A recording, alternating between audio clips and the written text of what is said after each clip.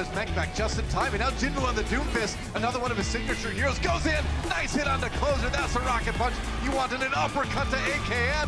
Jinmu, if you weren't on the Moo crew now, you will be after this round. oh! Gets Unko. That's point B. But this is the Outlaws' day. Overtime just barely activated as the Shock have one last scrambling chance to keep themselves alive in this series. Super not going to last too long. Violet Town as well. It's all falling apart. Had to end sometime. The win streak is over. The Houston Outlaws defeat the San Francisco Shock.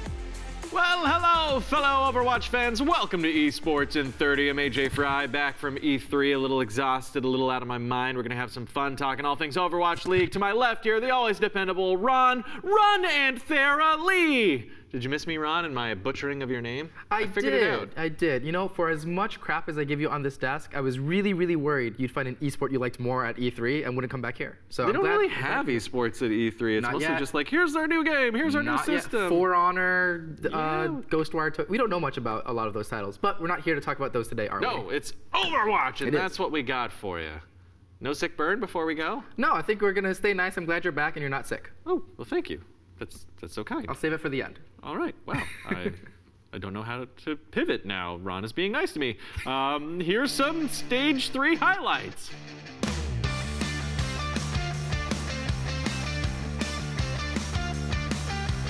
Didn't seem like they knew closer at Sound Barrier. They're coming in again. I mean, Note got his mech back just in time, and now Jinmu on the Doomfist, another one of his signature heroes, goes in. Nice hit on the closer. That's a rocket punch. You wanted an uppercut to AKN. Jinmu, if you weren't on the Moo crew now, you will be after this round.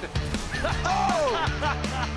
Gets Unko. That's point B. Just locate her land space down, and she would just kind of like get.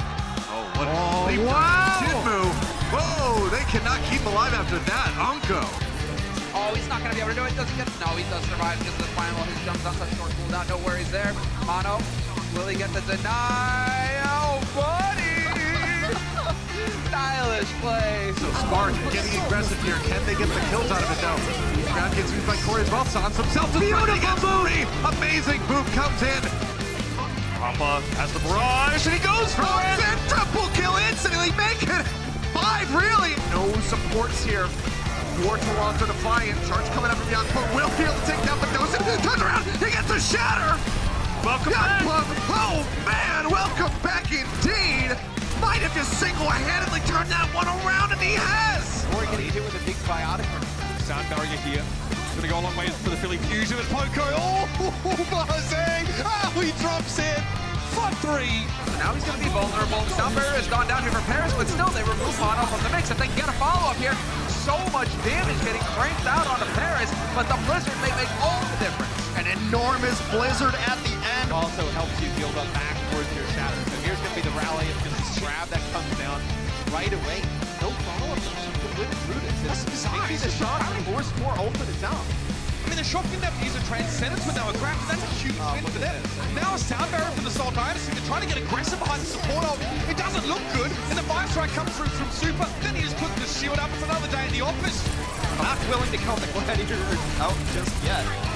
Not at all. I mean, it's Now complete opposite. It's three to one in terms of kills right now for the Washington Justice. They are the ones who are locking it down, and Sleepy's on a tear. Finally, somebody removes this guy, but the Justice. Farface coming in. Left There it is. There it is. Nano Blade. Boom. So they only get plus eight fusions, and Kelix is still able to get an immortality field out there, but There's plenty of Dragon Blade left to go around in the shock, but this is the Outlaws' day. Overtime just barely activated as the Shock have one last scrambling chance to keep themselves alive in this series. Super not going to last too long. Violet Town as well. It's all falling apart. Had to end sometime. The win streak is over. The Houston Outlaws defeat the San Francisco Shock.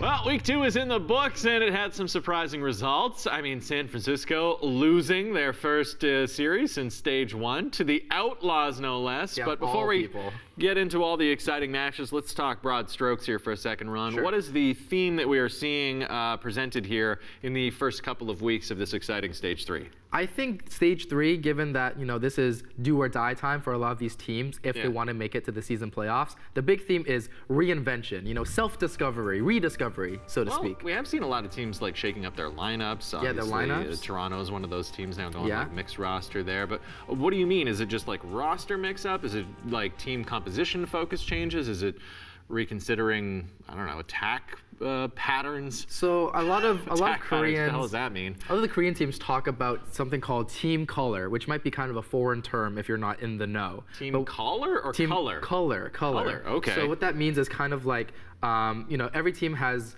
their identity that they would like to stick to regardless of um, what roster they have. They have a style that they really want to cater to. Even if you're playing the same composition across teams we've seen more aggressive goats we've seen more defensive goats more reactive goats we've Right. seen sombra goats We've seen um, DPS play, so it's not so much strictly the composition, but how you want to cater uh, your style and kind of your tendencies to match your composition.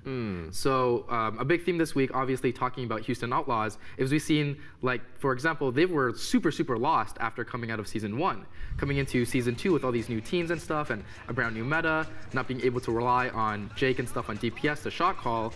You had them kind of lost in the sauce for a while, and I think this weekend. Uh, or maybe even last weekend, they were able to look at themselves in the mirror and kind of wipe away the glass and realize, you know, this is who I really am. A DPS team. Yeah, a ultimately. DPS. It turns out, like Montecristo said, Well, I was going to go there next. I mean, there was this big battle online. Montecristo, Monte Cristo, I should say, uh, directing his, uh, well, not anger, but uh, Yeah, his he- sentiments, I should say, Sure. at Flame, uh, and and saying like, "See, I told you so. I've been saying you guys should just run the DPS, do what you're good at." And ultimately, it paid off, taking down well the winners of Stage Two, the second-ranked team in the league, uh, the San Francisco Shock. Is this something that we're going to see more of? Or are they just going to stick to DPS now? I think um, it's good to look at this like, um, you know, now we know that last week the Houston Outlaws didn't win or have a near victory, I should say, uh, against NYXL, right? They went to, uh, all the way down to the wire, Yeah. and people were like, oh, this was a one-off, but actually toppling San Francisco Shock, who arguably, I know they're second in standings, like you said, Yeah. is m- maybe the best team Well, they did defeat the Titans ultimately to yeah, win in stage, two. So, So, um, we can't just shrug this off anymore. We have to say that Houston are doing something right. And it turns out the thing that they changed are they're doing two big things. They're implementing more Sombra into the play, like a lot of teams are, and they are letting their DPS players play DPS. We've seen them play a lot of Pharah. We've seen them play Doomfist. Actually, uh, Linkzr playing Doomfist is not a hero he's ever played. He said straight up, I've never played Doomfist. And this whole thing kind of sprouted out from them in a scrim Yeah. uh, on Eichenwald where they're like, oh, we're just being crushed. And they've had this collective moment where they're like, you know what? As much as we, we don't like to say Monty is right, he often is. And um, for us to compete, we, we're just, there's so much we don't know, and so many teams are so drilled on this.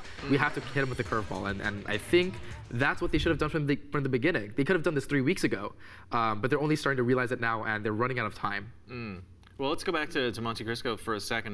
Am I saying I'm saying calling Monte him, Cristo. Yeah, tis Chris Toe. Cristo. Guys, E3 was a lot. the words aren't formulated right in the old noggin up here. Mo- Montecristo. Of course, I'm still saying it wrong. Uh, uh, but should casters be making these kind of comments, at least in this? I mean, there's obviously the stuff that's going to come offhand when you're you're doing this, ad-libbing your, as your thoughts are coming to you. Right. But it seems like he was more pointed about this whole idea, especially with regards to the outlaws and should they be this invested? Should they be engaging the coaches in this respect? You are a coach yourself. Yeah, I mean, I think this this rapport on, on social media is good to build a fan base, both Yeah. for um, the team and for the casters, as long as it's healthy and um, you know it's all in good fun. But I do think um, that both Flame and Montecristo have gotten a little bit more uh, personal than a lot of fans would like.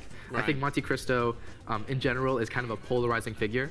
Uh, you know, he's he's very prideful. I think I can say that. You know, he, he takes pride in in um, kind of spewing the truth and being uh, brutally honest if he has to be. Yeah. Even if it comes to the expense of you know a certain team's reputation, because he, he sees it like oh they're, they're, they're pro teams. Right? Their their point, uh, their jobs are to succeed and to to play and to win. If you aren't doing that, we have all the right to criticize you. To which Flame is saying, well, that's not really good for a fan to do. You know, if you really want to support us, you should uh, kind of spread positivity and stuff. But Can Montecristo be so like focused on one team? Like he's, He's- his he's job is to be analysis. pretty objective, I think. for all- everyone, right? Yeah, I mean, he, he slandered teams all over um, social media prior in his careers and like League of Legends and stuff. So he's no stranger to kind of um, being put in the flames, so to speak, and Right. kind of fanning them one way or another. Yeah. So I, I mean, I like it personally. I think if you're the general manager of a losing team, uh, much less professional is going onto a stream and like losing your mind for an hour and a half over something a caster says. It's your job to take care of your players and Mm. Yeah. know what's best for them.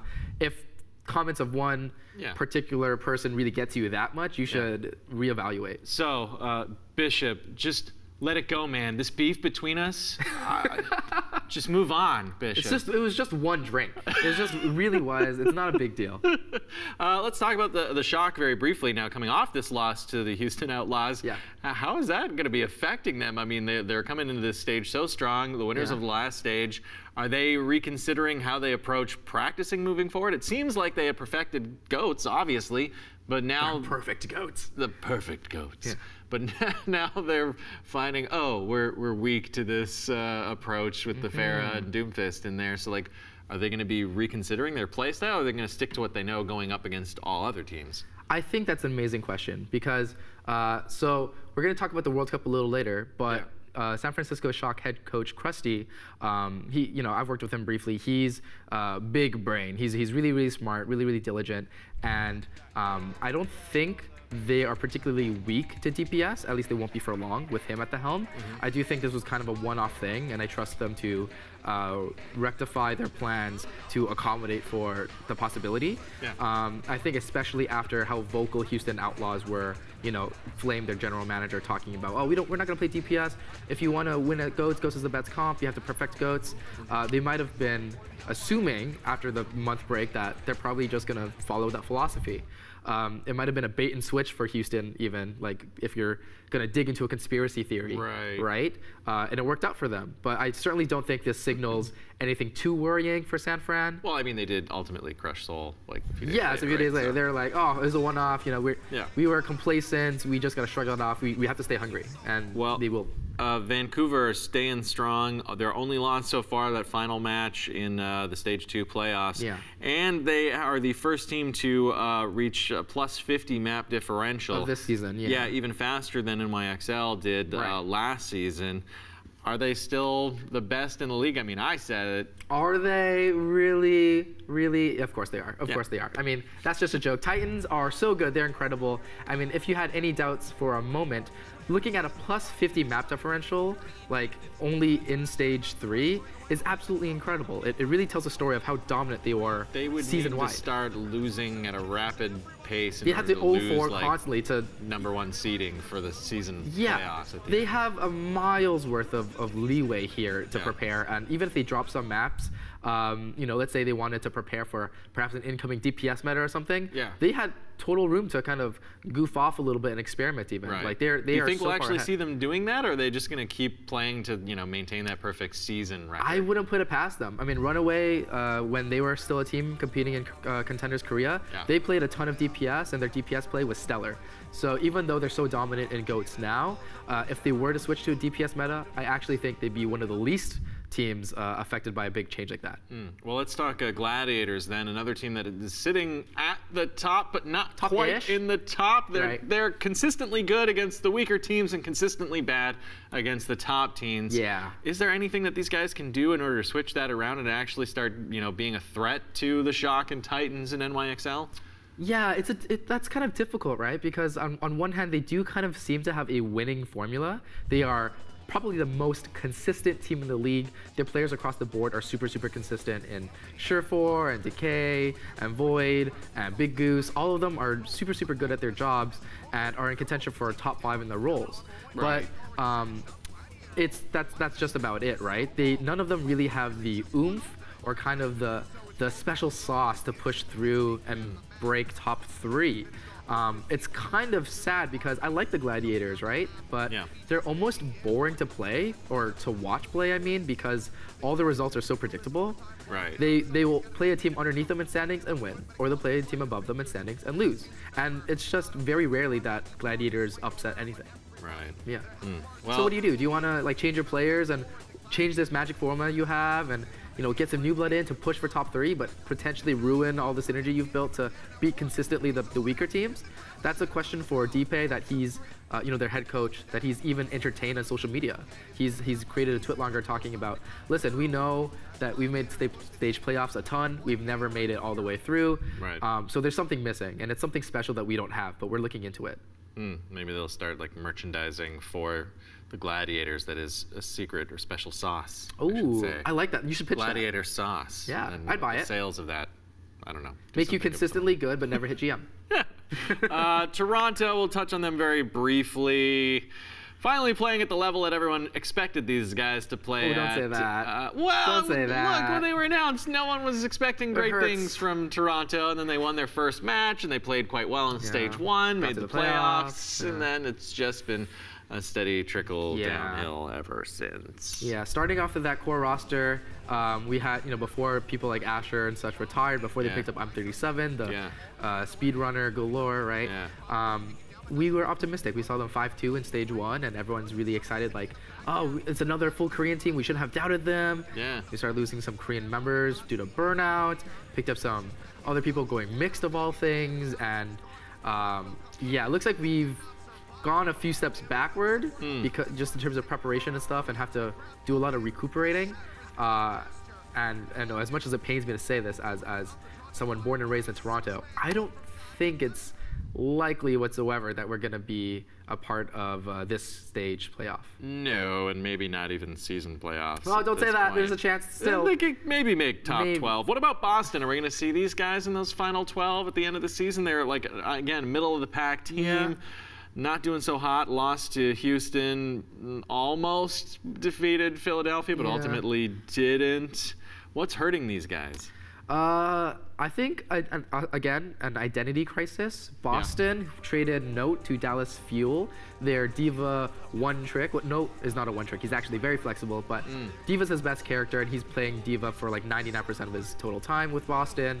Um, to pick up RCK, who is an amazing D.Va, but also can sprinkle in a, a hint of Sombra and such. Yeah. Uh, you know, that makes sense, and a lot of people assume that they'd be playing a better Sombra Goats oriented style to kind of force these mistakes and really get away with a more aggressive tendency. And we saw glimpses of that when they first picked him up, but now um, Dallas Fuel with no actually puts him with Sombra, and they've been having arguably more success or about the same amount of success as Boston uh, after the trade. So Note wasn't the problem, evidently. It seems to me like the team overall at like a you know top wide structural managerial level Yeah. doesn't know exactly what they want to do with the team. Yeah. Yeah.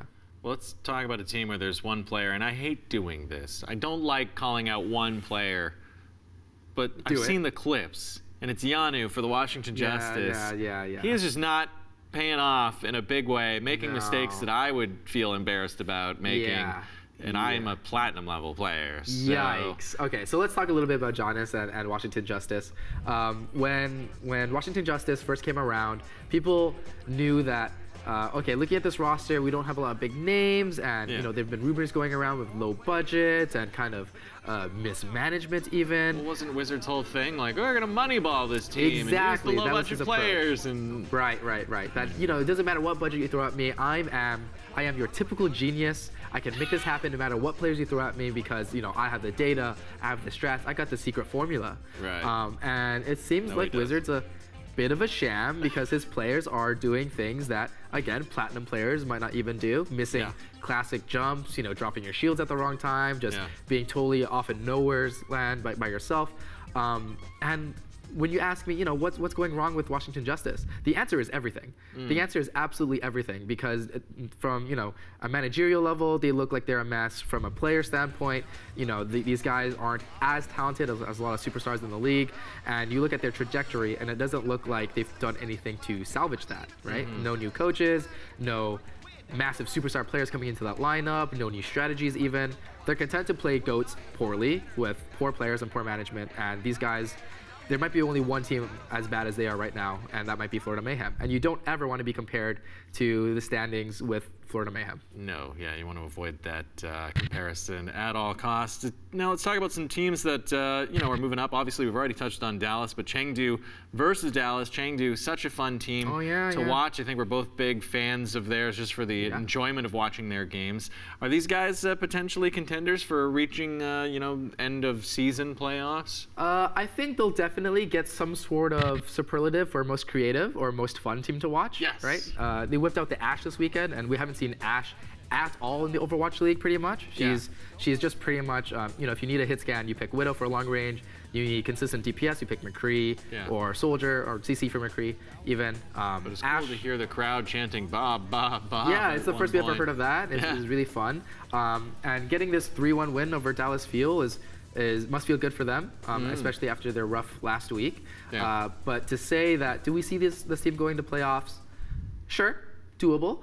Um, do I think they'll succeed in playoffs? N- no, especially now that they've been kind of figured out. It used to be harder to scout playing DPS, but now other people are playing DPS. Um, Ashe is kind of weird, but not all that good, and I don't think suddenly having an Ashe player on your team will make that big of a difference. Yeah. Um, really, they're starting to Do you get think we'll outscaled. see Blizzard do anything with Ashe to make her more viable and competitive, given how underplayed she is? I mean, obviously Yeah. there are characters like Symmetra that barely get touched. But they have a you know. Yeah. Right. Ashe is Ashe doesn't really seem to have that niche. Yeah. Um, again, she fulfills the hit see her played a lot in the in you know Platinum League Yeah, games. because she's fun. Yeah. But, but when you're out here trying to win, you have certain things you need your characters to do. Yeah. Um, and she doesn't have, a, I think, a clear-cut goal um, that she wants to accomplish, right? She wants to deal DPS, and she kind of has um, elements to, to deal with large groups, you know, with her Mm. Dynamite and maybe even Bob.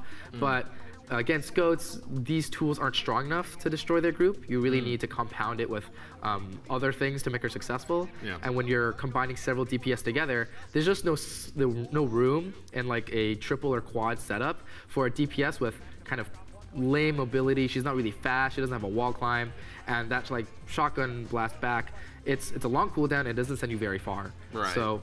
I would like to see maybe up her damage a bit and maybe say like, okay, well she has dynamite and this big butler thing. Let's Yeah. up her damage to make her more appealing in terms of raw DPS perhaps, Right. or up her elements of dealing with crowds. Then maybe we'll see her getting some play. Yeah, in, in some niche scenarios for sure. Well, Sombra has been getting a whole lot more play. Uh, percentages Yes. uh, uh, going uh, way up there from uh, 24.8% to 30.7%. Uh, why is Sombra getting so much play? I mean, she isn't a character who like does all that much damage, but I guess it's her abilities that just make her so deadly. Yeah, I mean, I'm sure you've been in solo queue for you know playing in your platinum games, and you've had a Sombra sneak up behind you, and uh, you know her gun isn't much to write home about, but when No. she isolates you and you can't hit any of your other buttons, Yeah. suddenly that's quite a tall task to handle. It is. Right, and imagine you know you're playing goats where none of these players or none of these characters, I should say rather, have a lot of long range damage to kind of scout the field and deter her. You have D.Va that could constantly shoot and kind of spy check, but good Sombras will be able to weave their way around and find themselves to you. Once D.Va's hacked, she's just a massive ball battery, right? Yeah. Um, and once the D.Va's out the way or hacked, that's a free grab. Um, a big thing in this in, in goats is trying to eat the enemy grab, denying that big power play, and then pushing that momentum back through and winning and stabilizing on a point. Uh, Sombra completely denies the enemy's ability to do that. So if you're looking for a more aggressive style, Yeah. and you know you're not as your your D.Va's not as good as eating grabs because that's honestly really really really hard to do consistently. Mechanically, it's very challenging. Yeah, it's also really mentally intensive. You have to predict Yeah. when they're going to use DM and, and can someone else block it with, with bubbles or something, right? Right. It's much easier to hide someone away, hack at them, um, build your EMP and just hit uh, the big uh, R button or Q button, sorry. But playing a little bit of other games here and there. Um, but yeah, I, I, I can see why some people say it's dishonest. It's kind of like you're not fighting man to man, as Super says. But if you're not as good as Titans or Shock at their own game, I don't see why you wouldn't play the Sombra right now. Yeah. She's incredibly strong, and uh, you, you need all the advantages you can get when you're trying to get that playoff spot. hmm Use all the utilities available in order to win, I say. Yeah. Uh, let's talk about a winner this week. It's time for our MVP of the second week of this third stage of Overwatch League. Who have you decided on, Renanthera? So I think we'd be mistaken to pick anyone else but Linkzr this week, and that's because Houston Outlaws has had their big return to glory. You know, uh, Houston Outlaws fans are probably one of the most, if not the most, dedicated fans in all of the league. After Houston Outlaws, uh, after all, they have this curse of always making it all the way to the end of the distance, fifth game, and then just kind of diving down to the bottom.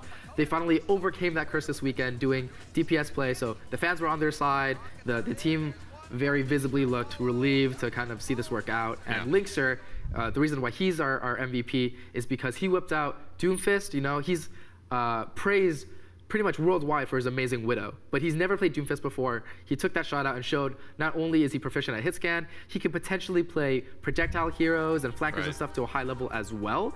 And that just opens up a huge playbook for Houston. If they keep Linkzr on the roster and they really refine him, he's probably top three DPS in all of the league. Wow. Yeah, I, I really do believe that. He has a Widowmaker to rival Sayaplayer on Florida Mayhem, who's the best Widow, and Doomfist, like that game against Shock of all people, it's not easy to pull that off against Goats. He can very easily be bubbled or bashed off, Right. and he played amazing on his first game. I think he has a ton of potential. Well, that's a great pick, and just hearing that though, that you got the best Widow player in the league on the worst team in the league, that's going to be a tough position to be in. Yeah, rest Uh, in peace, Sayaplayer. We got a few more topics to touch on before we wrap things up out there. Uh, for starters, Ron, what's the deal with Revival? Tell me more about your new Oh, project oh here. My it's very God. cool. So I guess it's time to plug our team a little bit. Yeah. Our team, my team. Uh, I'm the general manager of a new contenders team called Revival. And Revival, for those that don't know, is composed of the core from the Mayhem Academy that was recently disbanded. Right. So um, we have One of the top teams in contenders. Yes, I mean, without a doubt, we, we definitely hope so. Yesterday, we played our first match against Second Win, and for those that do know their contenders' history, uh, Second Win was the only team that beat Mayhem Academy last year. Mayhem Academy famously breaking Fusion University's like 31 match record or something ridiculous. And now that Fusion University is out and playing in Korea, and NA's kind of uh, left the crown up for grabs. We're looking to snatch that crown, right? We're looking to win and take it all. And on our roster, we have uh, a lot of Overwatch League retirees and contenders veterans. We have Apply from the Florida Mayhem.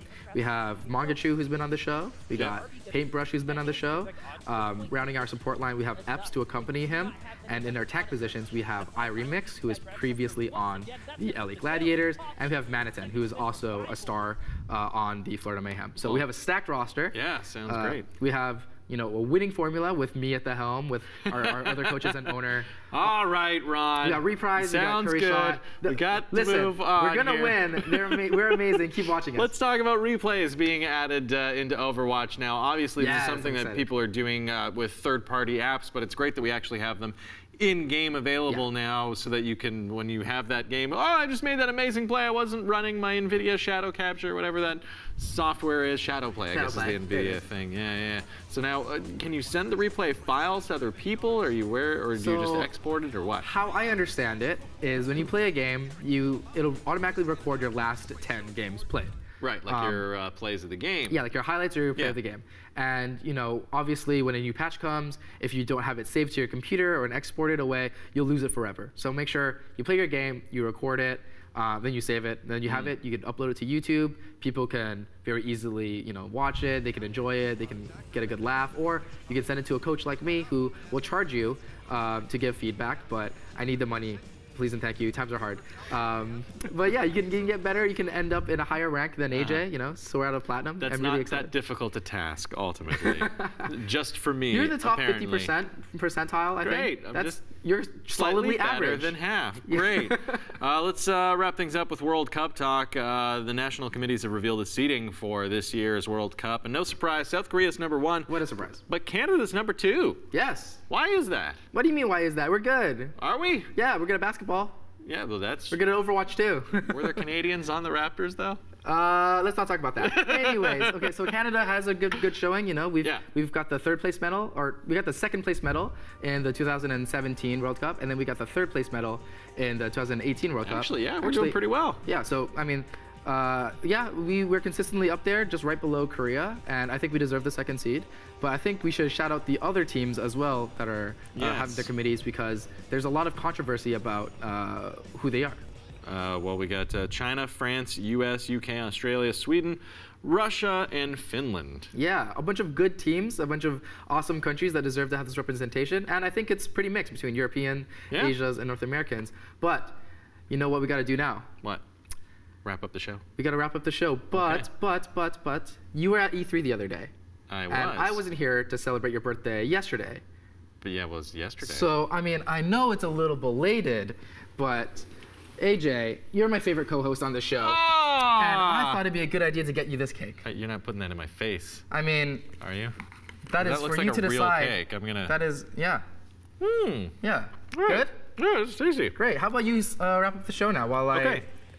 Oh, oh, that's amazing. All right. Uh, well, thank you for uh, oh tuning in and lending us your eyeballs. It's gonna get on my shirt now. Tomorrow on the show, uh, we've got a super special guest to talk all about the Smash Summit, the one, the only Axe. Tune in tomorrow to check that out. You don't want to miss it. Until then, hit the social buttons. See you later.